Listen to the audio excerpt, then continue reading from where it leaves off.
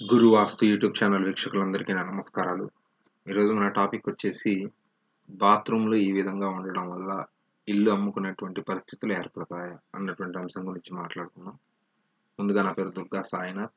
మీకు గల ఏ వాస్తుపరమైన సందేహాల కొరకైనా సరే స్క్రీన్ మీద కనిపిస్తున్నటువంటి నెంబర్కి కాల్ కానీ వాట్సాప్ కానీ చేసి మీ వాస్తుపరమైన సందేహాలకు సజెషన్స్ తీసుకోగలరు.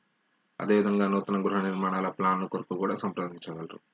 మా వీడియోస్ మీకు నచ్చినట్లయితే లైక్ చేయండి షేర్ చేయండి సబ్స్క్రైబ్ చేసుకోండి. మీ ఫ్రెండ్స్ అండ్ ఫ్యామిలీ మెంబర్స్కి సజెస్ట్ చేయండి. తద్వారా మీతో పాటు వాళ్ళు కూడా వాస్తుకు సంబంధించినటువంటి సరైన నాలెడ్జ్ తెలుసుకోవడానికి అవకాశం ఉంటుంది. టాపిక్లోకి వెళ్ళిపోతే మనకి బాత్రూమ్లు ఈ విధంగా ఉండడం వల్ల ఇల్లు అమ్ముకునేటువంటి పరిస్థితులు ఏర్పడతాయి. అంటే ఖచ్చితంగా ఏర్పడతాయి. ఇక్కడ మీకు ఇమేజ్లో అబ్జర్వ్ చేస్తే ఇది వచ్చేసి తక్కువ వెడల్పు కలిగినటువంటి ఉత్తరం ఫేసింగ్ హౌస్ ఈ హౌస్కి వచ్చేసి స్టార్టింగ్లో ఇక్కడ తలుపు ఉంది. తలుపు పక్కనే ఇక్కడ మనకు బాత్రూమ్ కనబడుతుంది. ఈ బాత్రూమ్ ఏం చేశారంటే ఇక్కడ ఉత్తరం ప్రహరీ ఏదైతే ఉందో ఆ ప్రహరీ అదేవిధంగా ఇటువైపు పడమర గోడకు ఉన్నటువంటి ప్రహరీ రెండింటిని కలుపుతూ స్లాబ్ తీసుకొని ఇక్కడ బాత్రూమ్ నిర్మించుకోవడం జరిగింది. దీని కింద సెప్టిక్ ట్యాంక్ ఇవన్నీ కూడా రావడం జరిగింది. మామూలుగానే బాత్రూమ్స్ అంటే చాలా జాగ్రత్తలు మనం వహించాలి తర్వాత సెప్టిక్ ట్యాంకులు అన్నా కూడా చాలా జాగ్రత్తలు తీసుకోవాలి. పెద్ద పెద్ద ఇళ్ళకే ఒకసారి బాత్రూమ్ విషయంలో చాలా చోట్ల కాంప్రమైజ్ కావాల్సి వస్తుంది. కొన్ని కొన్ని సందర్భాల్లో అవకాశం కూడా రాదు. కానీ ఇక్కడ ఉన్నటువంటి తక్కువ వెడల్పు హౌసెస్లో బాత్రూమ్ ఎక్కడున్నా కూడా ఇంకా దోషం ఎక్కువ ఉంటుంది. అట్లాంటిది ఇక్కడ వచ్చేసి వీళ్ళు ఏదైతే వాయువ్యం కార్నర్ ఉందో ఈ వాయువ్యం కార్నర్లో ఇలాగా బాత్రూమ్ తీసుకోవడం అనేది జరిగింది. దీనివల్ల ఆర్థిక పరమైనటువంటి ఇబ్బందులు చాలా ఎక్కువగా ఉంటాయి. ఇక్కడ వచ్చేసి ఉత్తరము తర్వాత వాయువ్యము రెండు కూడా ఎక్కువగా మేజర్గా ఈ బాత్రూంలో ఉండడం జరిగింది. ఇక్కడ స్లాబ్ రావడం జరిగింది.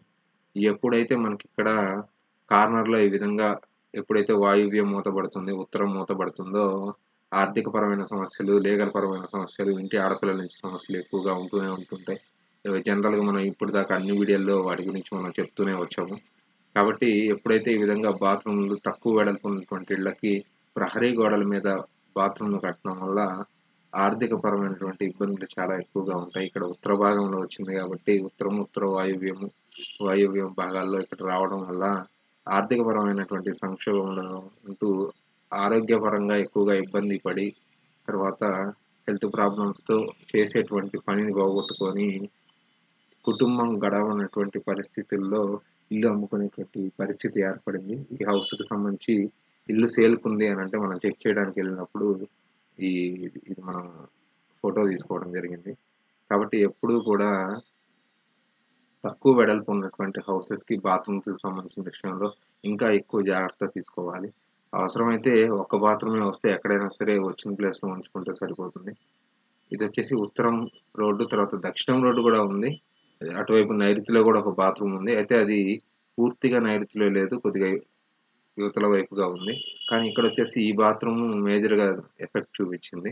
ఇది ఆర్థిక పరంగా తర్వాత నైరుతిలో ఉన్నటువంటి బాత్రూము చేసేటువంటి పని హెల్త్ తర్వాత వీటన్నిటి మీద రెండు కూడా ఎక్కువ ఎఫెక్ట్ చూపించాయి. కాబట్టి ఎప్పుడు కూడా ప్రహరీ గోడలను ఆనించుకొని కార్నర్స్లో బాత్రూమ్స్ తీసుకోకూడదు. తద్వారా చాలా దుష్ప్రభావాలను మనం చూడాల్సి ఉంటుంది.